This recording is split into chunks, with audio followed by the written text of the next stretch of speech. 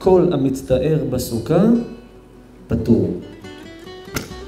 אה, רבי אברהם, מה זה כל המצטער בסוכה פטור? אנשים רואים ג'וק, רואים שר, רואים איזה, רואים איזה זבוב, אומר לך, שמע, אני מצטער, יש לי צער. הוא יוצא מהסוכה. אומר הרי קנאתי לא לזה התכוון מי שכתב את הספר הלכות.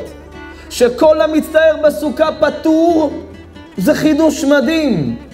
שכל מי שמצטער בתוך הסוכה ונשאר בתוך הסוכה למרות הצער, פטור מצער כל השנה. שמעתם? שמעתם חידוש של רבותינו? כל המצטער בסוכה פטור.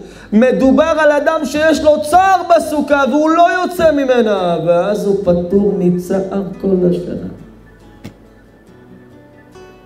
אומר הקדוש ברוך הוא, פה אני מגלה אותך, גם שלא נוח לך אם אתה עדיין איתי.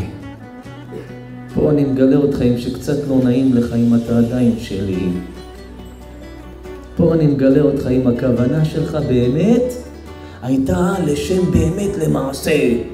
שמי שנמצא בתוך הסוכה, והסוכה שלו היא כשרה למהדרין, היא כשרה בתכלית הכשרות, והסוכה שלו זה סוכה באמת שכל ההידורים יש בה, והוא נכנס לתוך הסוכה, גם אם לא בירך, לא עשה שום דבר. עצם זה שהוא יושב בסוכה, כל הגוף שלו מקיים תרי"ג מצוות. כל המצטער בסוכה, פטור.